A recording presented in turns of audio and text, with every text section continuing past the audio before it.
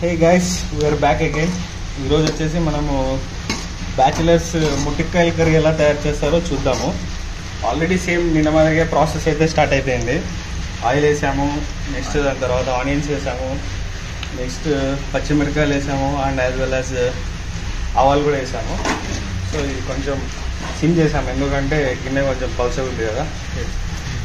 ఇప్పుడు కర్రీ కావాల్సిన onions and పచ్చిమిరపకాయలు మగ్గాయి. ఇప్పుడు మనం టమాటోస్ యాడ్ చేస్తున్నాము. సో టమాటోస్ యాడ్ చేసినప్పుడు యాక్చువల్గా మనము అరే చిన్న మిస్టేక్ అయిపోయింది. టమాటోస్ యాడ్ చేసేసాము. యాక్చువల్గా టమాటోస్ లాస్ట్లో యాడ్ చేస్తుంటే బాగుండు. Okay no problem. మేనేజ్ చేద్దాము టమాటోస్ కొంచెం మగ్గిన తర్వాత కొంచెం కొరియాండర్ పౌడర్ అలాగే కొంచెం కారం పొడి కూడా యాడ్ చేసుకోండి కలర్ కోసము. ఎక్కువ యాడ్ చేద్దండి ఎందుకంటే పచ్చిమిరపకాయలు ఉన్నాయి ఆల్రెడీ. ఎస్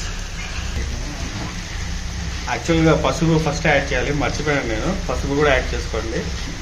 పసుపు ఇస్ వెరీ ఇంపార్టెంట్ థింగ్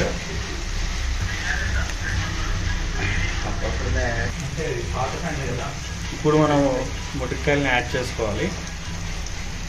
బేసిక్గా అయితే ఫస్ట్ యాడ్ చేయాలి. ప్రాసెస్లో కొంచెం చేంజ్ వచ్చింది. అందువల్ల తర్వాత యాడ్ చేయాల్సి వస్తుంది. బట్ నో ప్రాబ్లం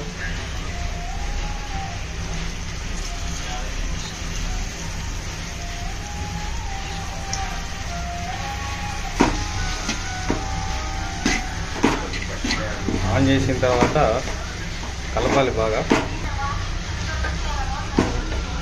ఇది యాడ్ చేసిన తర్వాత బాగా కలపాలి. కలిపిన తర్వాత సేమ్ ఉప్పు యాడ్ చేయాలి. ఉప్పు మీకు ఎంత కావాలంటే యాడ్ చేసుకోండి.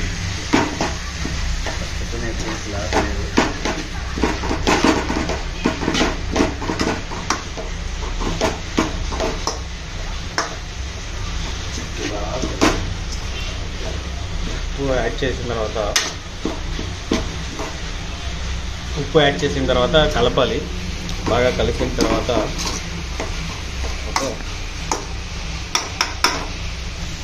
ఇప్పుడు కలపడానికి మనకి జనా హెల్ప్ చేస్తున్నారు.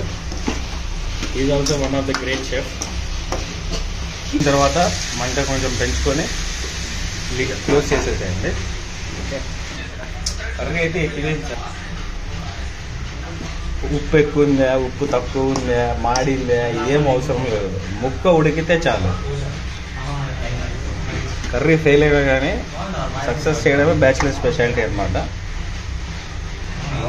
ప్రజెంట్ మేము అదే పనిలో ఉన్నాము ఎందుకో కర్రీ కొంచెం మాడిపోయినట్లు అనిపిస్తుంది but no problem